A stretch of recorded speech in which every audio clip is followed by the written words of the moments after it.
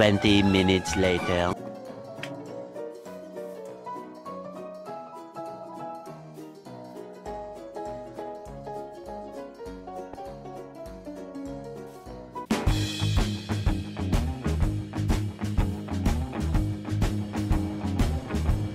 Six hours later.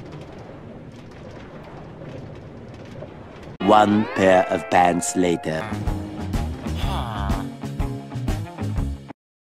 Huh.